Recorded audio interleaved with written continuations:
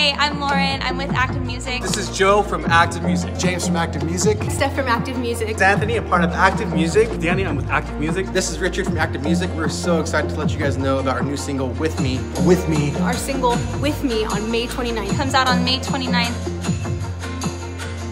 Our new single, With Me, is coming out May 29th. It's available on all streaming sites, so check it out on May 29th. May 29th. May 29th. May 29th. With Me comes out May 29th. And you can find it anywhere that you listen to music. All streaming platforms. Every streaming platform. Anywhere that you stream music. Don't forget. Don't forget, put it in your calendar, whatever you gotta do. Check it out. Check it out. Look forward to sharing it with you. You're gonna love it. We can't wait to share it with you. Check it out.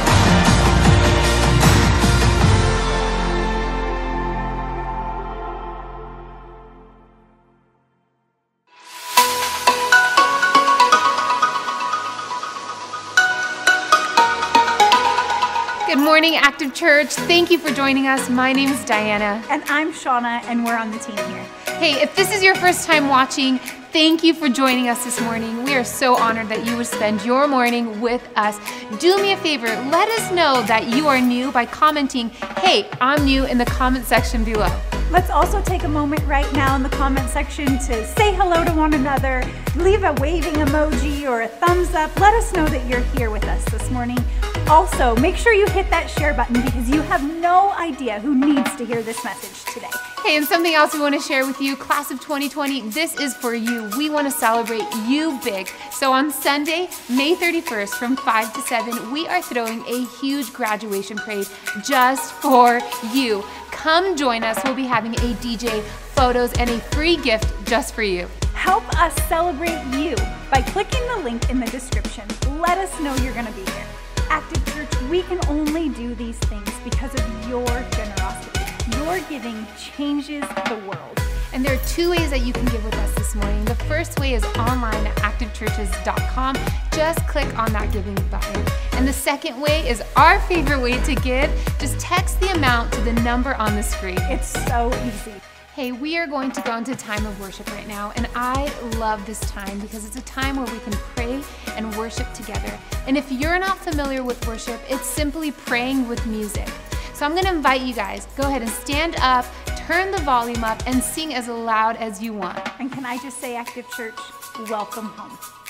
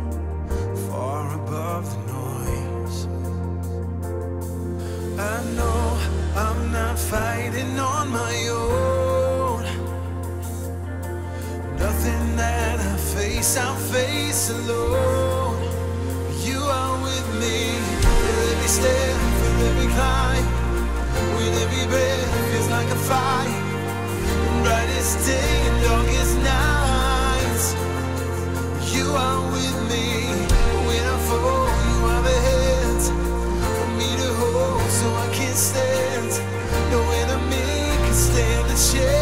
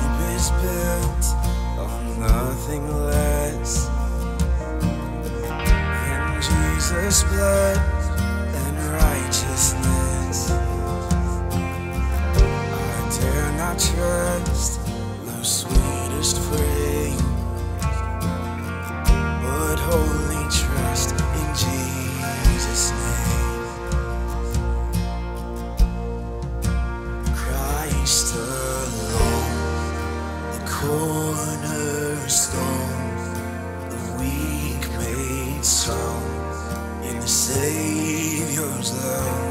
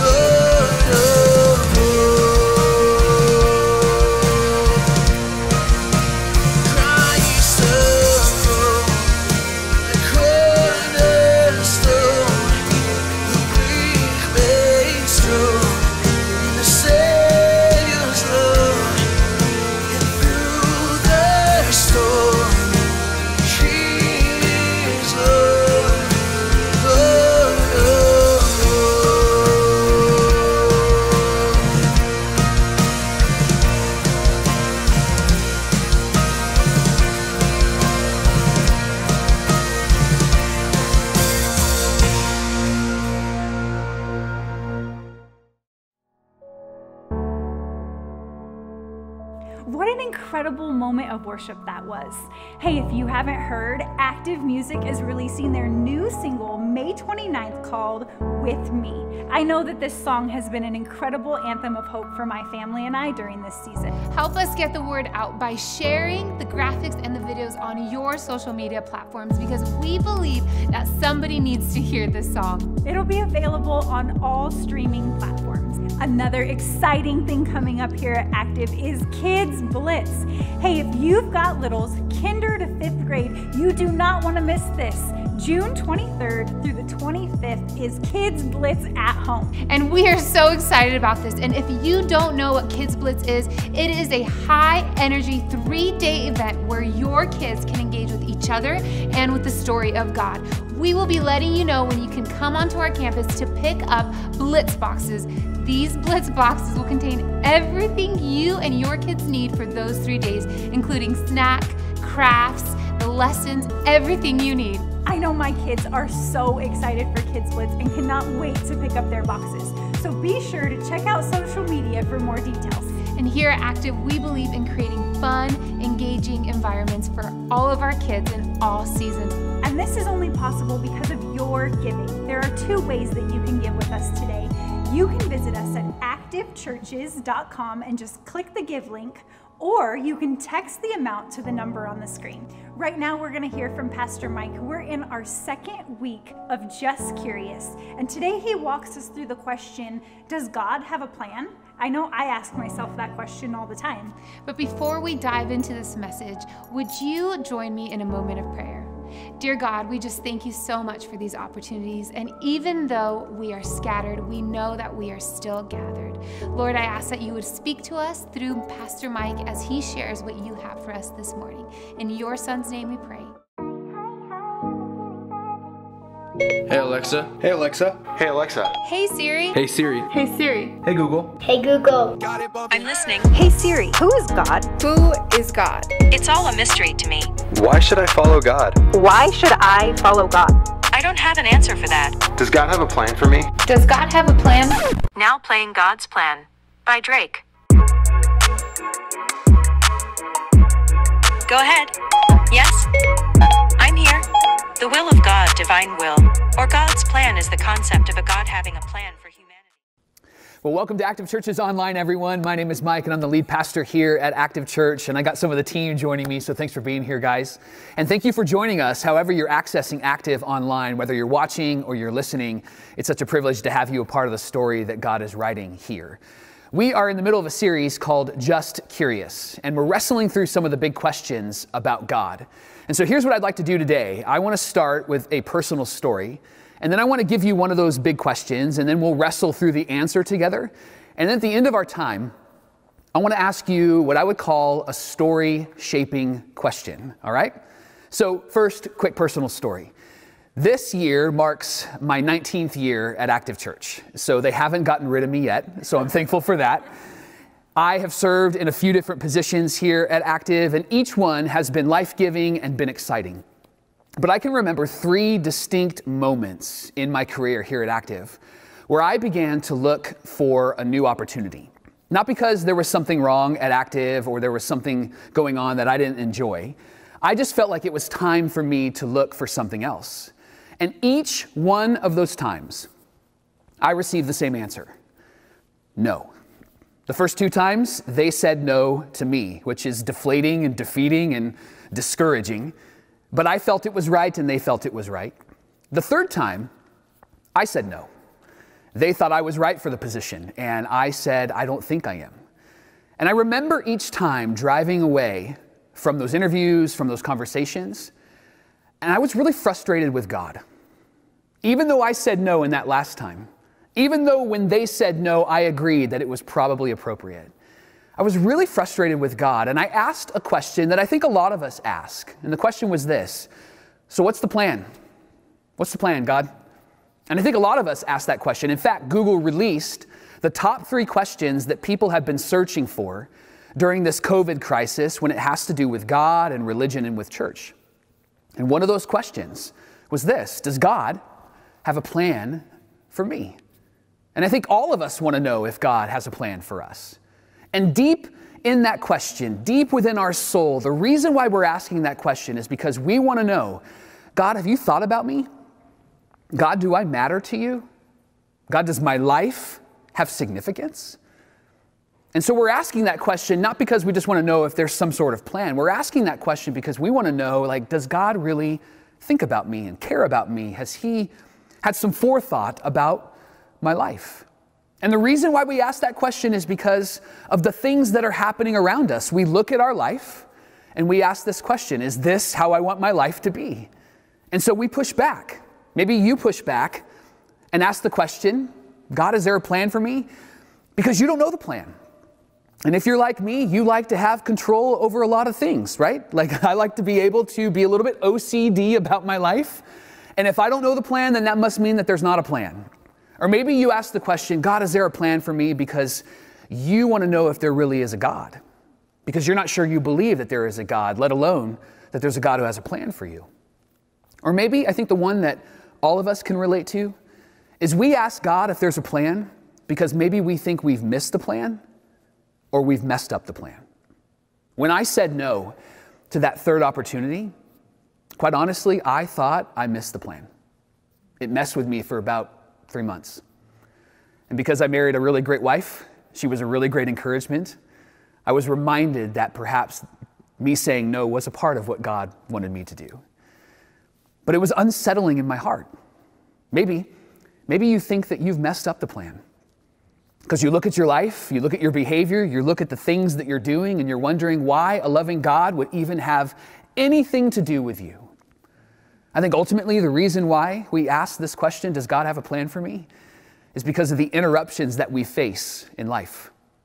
When we face interruptions, it messes up the nice rhythm of life. It messes up our control of life. In fact, I'll show you. I think a lot of us want to live life this way. We want to have a life that's scheduled, nice little boxes, maybe some really nice writing, and every single one of our boxes is filled. And I think some of you, like me, we just want to check those boxes. And so we would ask God, like, God, if, if you have a plan for me, can you make it like this? And I think the reason why we ask the question is because the answer to that question in the, the life that we're living and what we see around us is nothing like this. It doesn't meet this standard. We can't check these boxes. And so we struggle with that question like, God, is there a plan? Because it doesn't seem like there's a plan. It doesn't seem like there's any thought. It doesn't seem like I have significance because the life that I'm living, it's a bit chaotic. And this is why I love the scriptures. Not just because I'm a Christian, but because it's written by men and women who were pursuing God and they were trying to figure God out, like you and I are trying to figure God out. They went through crisis like we're going through crisis. We're doing church at home. We can't gather together because of a very infectious virus, and they had to figure out life like we had to figure out life. And they looked at their life and they said, It just doesn't seem like there's a plan because it feels chaotic. And this is why I love these real stories of these real men and women who are trying to figure out God. One of them is Paul. We talk often about Paul here at Active Church.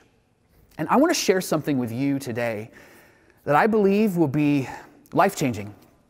And I know that that might seem a bit dramatic, but I really believe that it could shift your perspective and help you see God and how God sees you in a significant way. And so I want to take you to something that Paul writes because he offers us something that's better than a plan. But before we get there, I just want you to get some context for who this Paul guy really is.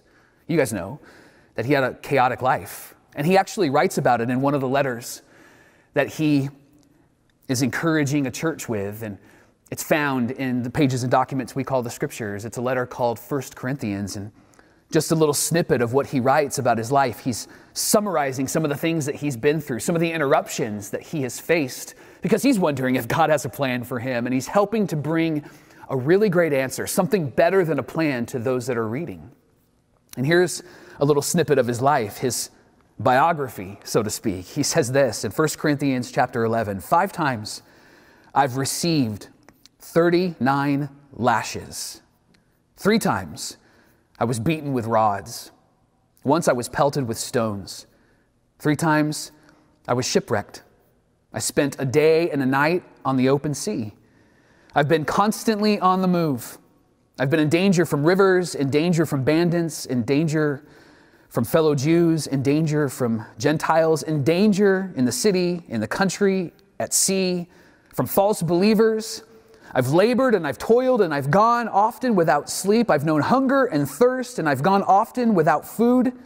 I've been cold and I've been naked, and besides everything else, I face the daily pressure of my concern for all the churches. It feels like he was starring on the TV show Survivor as he writes that out, right?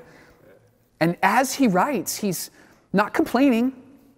He's just helping us to see that he knows what we're thinking and what we're feeling. And then what he says next is remarkable. It's in a different letter. He actually helps us to see that maybe perhaps there's something better than a plan for his life, for my life, and even your life. And I want to show it to you because I think that it'll change everything for you. So if you do have a Bible with you, or if you have the Bible app on a smart device on your phone, would you turn to the letter of Romans in the New Testament in the Bible? Romans chapter 8 starting in verse 28. And what I want to do is I just want to walk through it piece by piece, step by step, because it's powerful and it's significant and it's life changing. And I don't want you to miss what Paul is communicating to you and to me. So, Romans chapter 8, starting in verse 28, it begins this way And we know that in all things God works. All things God works, which means that God is up to something in every moment. Even in those moments when God feels distant, even in those moments when God feels like He's very inattentive to you, in those moments when God feels like He's being very quiet, or even in those moments where you're not sure that God is even near. Paul's conviction and what he's writing to you and to me and to these first readers is that in all moments, God is at work. God doesn't take a day off. And he wants you and I to know that before he gets into anything else. That God is always up to something in your life and in mine. And he says this that I know and we know that in all things God works. And what is he working for? For the good that God is looking to accomplish something in every single moment. He's looking to accomplish something good. It doesn't mean that the moment is going to feel good. It doesn't mean that the moment is going to look good, but that God is using this moment to point to something that's greater than what you could come up with, pointing to something that's good, that's shaped by Him, that's defined by Him, and that He can speak into. And so God is working in all things according to Paul. And He's working for the good, taking these moments of pain and struggle and turning them into moments of power and courage. Because God is working for you, not against you, in all things. And then Paul gets to that moment that's better than the plan. You might know this verse if you're a Christian. If you're not a Christian, this might be new to you. And so I want you to lean in wherever you're at on the couch. Maybe you're driving and you're listening. Just lean in. Pay attention to the road, but lean in.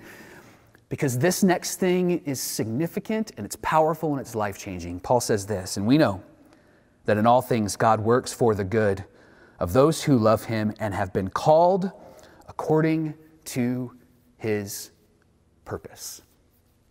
Purpose is a cultural buzzword. It's not just a church word, it's a cultural word. We all want to know our purpose. Because when we know our purpose, what that helps us to understand about our life is that we matter.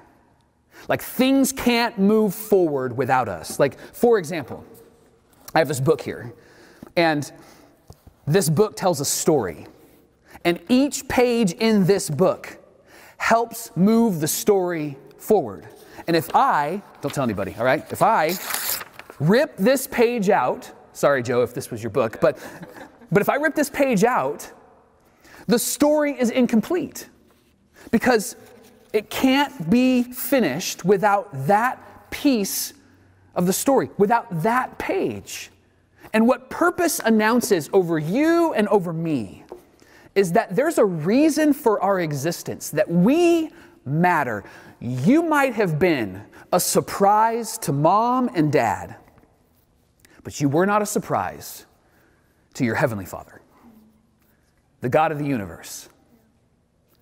God works in all things for the good of those who love Him and are called according to His purpose. That God has something far better than, hang on, far better than a plan. He's got a purpose. He's not looking to check the boxes of life for you. God is looking to give you life. When He shaped you and designed you, He had a life in mind, a purpose in mind. Even if you think that you have messed it up or you have missed it, God is announcing to you through the words of Paul there's nothing you can do to throw off your purpose. You matter, you're significant. And then my favorite part of what he says comes next. And I just want you to know it's heavy, it's big language. I want us to walk it through together. He says this, and we know that in all things God works for the good of those who love him, who have been called according to his purpose. You ready? Verse 29. For those that God foreknew, he also predestined to be conformed to the image and likeness of his son. So, the purpose that God has given you and given me is that we can be conformed to the image of his son, God's son, Jesus Christ. Now, it's big language. I've been a Christian for a long time. I was eight years old when I came to know Christ, and I'm not eight years old anymore. And so I've been a Christian a long time. And even I read that, and it's big language. So could I just pause? And could we walk it through, even if you're a Christian? Could we pause and walk it through? And if you're not a Christian, man, I want you to lean in because this is so significant for you.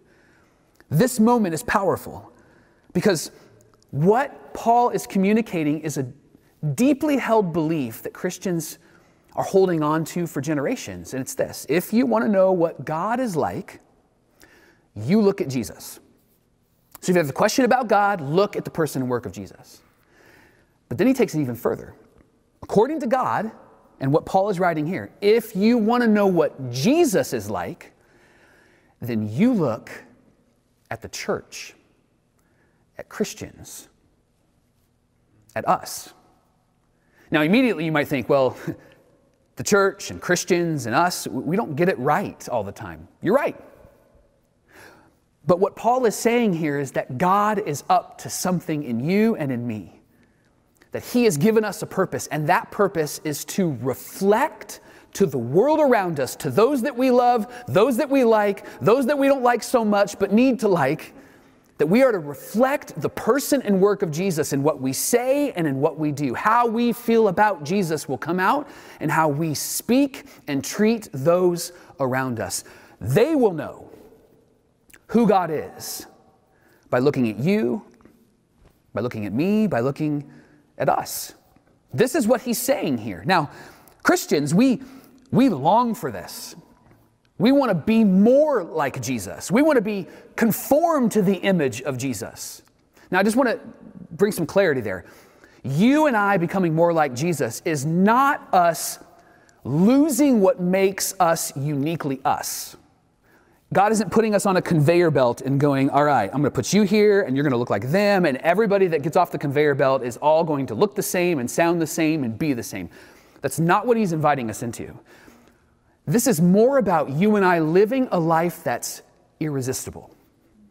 That people go, I don't know if I believe that, but I love how they live.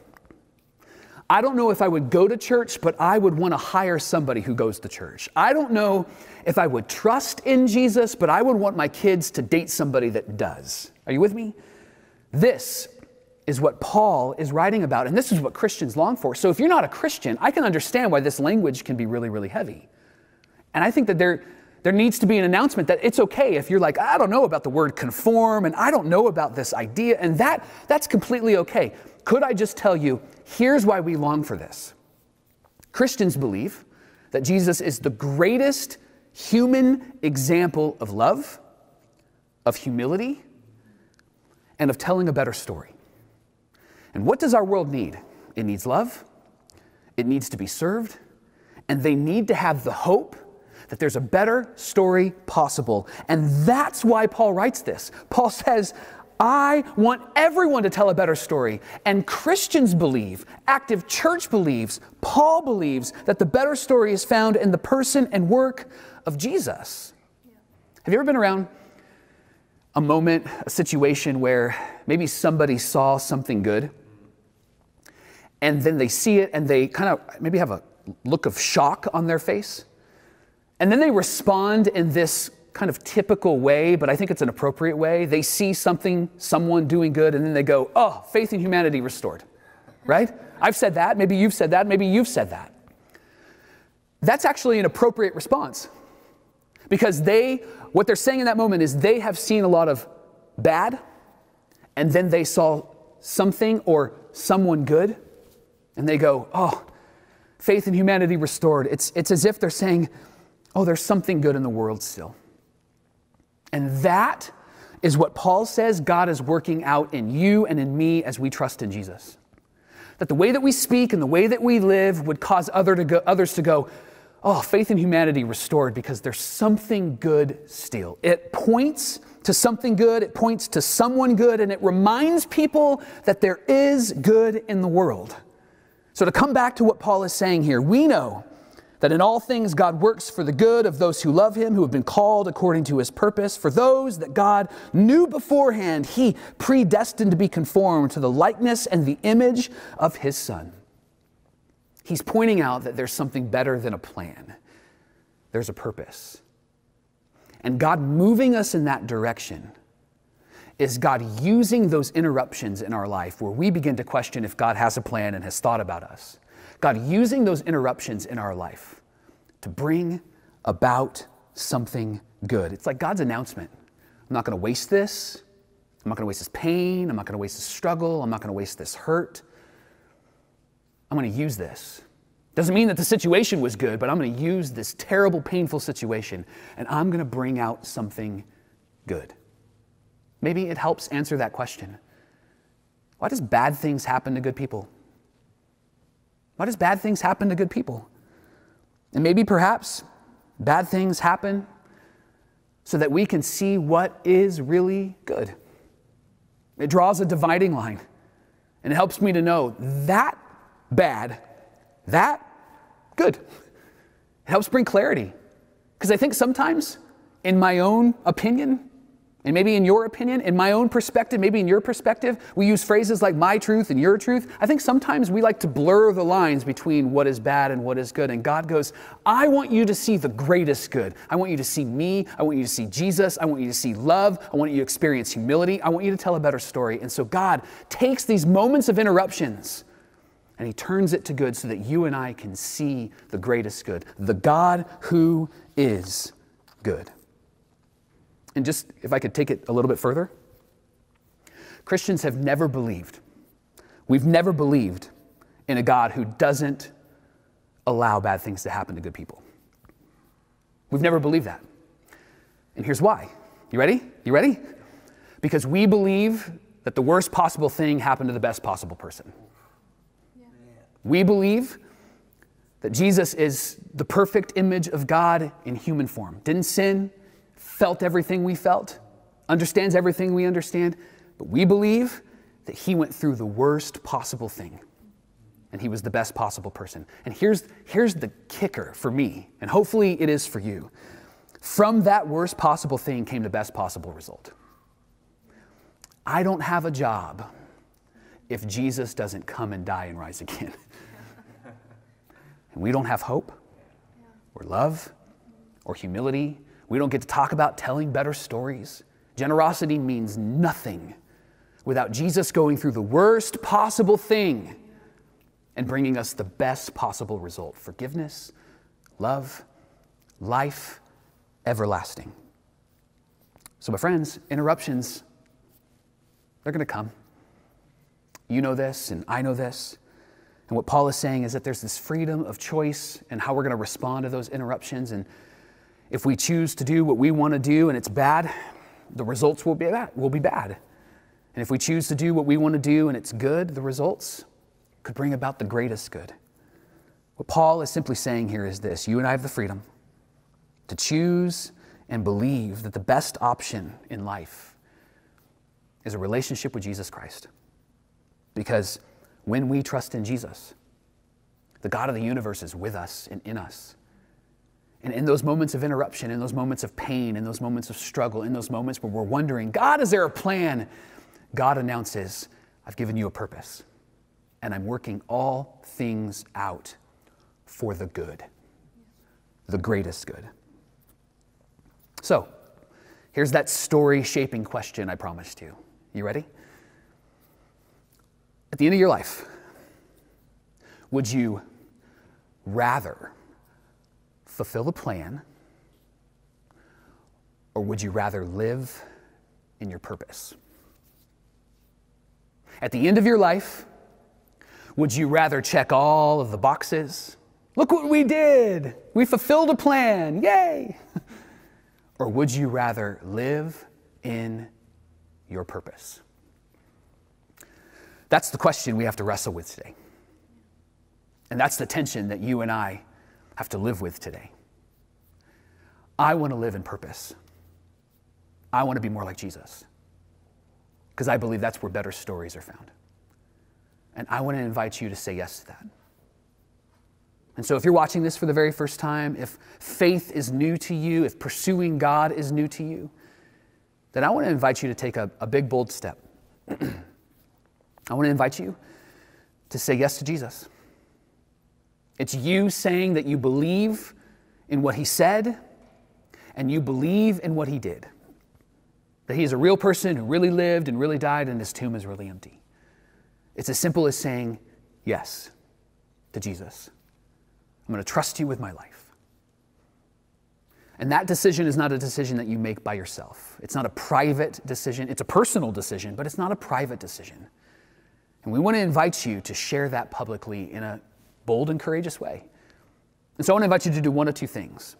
Would you, right now, if you're watching this, would you comment, I said yes, so that our team and our church could celebrate with you? All we want to do is just give you a high five emoji. We want to give you that birthday hat with a little, little birthday decoration. We want to celebrate that with you. Would you put that in the comment? I said yes. If you aren't ready to go as public with that, would you text the word I said yes, all one word? I said yes to the number that you see on the screen. I said yes to the number that you see on the screen. The greatest decision you will ever make in your life is the decision to trust in the God who gave you life. And it will help bring clarity to the question God, is there a plan? Have you thought about me? And God will answer with a loud and resounding yes, because He has something greater than a plan. He has a purpose. So, could I pray for you? Let's pray together. So, God, I pray for those that are riding the tension right now. Do I want to fulfill a plan or do I want to live in my purpose? Those that are riding the tension of should I should I say yes? Should I write it out in a comment? Should I text that? God, would you give them courage to have them step into this new way of life? A life that's with you, a life that is about you, and a life that helps us to tell a better story. So, God, would you invite us and fill us and give us courage to take that first step to save us. And we thank you for each person that has texted or indicated that they have said yes. We celebrate with them today because they are trusting in the good God who makes all things good. And it's in His name that we pray all these things. Amen and amen awesome message from Pastor Mike today. If you said yes, we want to celebrate you. Let us know in the comments, I said yes, or you can text the number on the screen. I said yes, all one word, because we want to celebrate you. And we know what an important decision this is. Active churches, it's because of your generosity that we can tell a better story through the life change that is happening all around the world. And there are two ways that you can give with us today. You can visit activechurches.com and just click the give button, or you can text the amount to the number on the screen. And lastly, class of 2020, we are going to celebrate you with a graduation parade on May 31st from 5 to 7. We can't wait to see you there. We can't wait to celebrate with you, and we can't wait to see you next week, Active Church.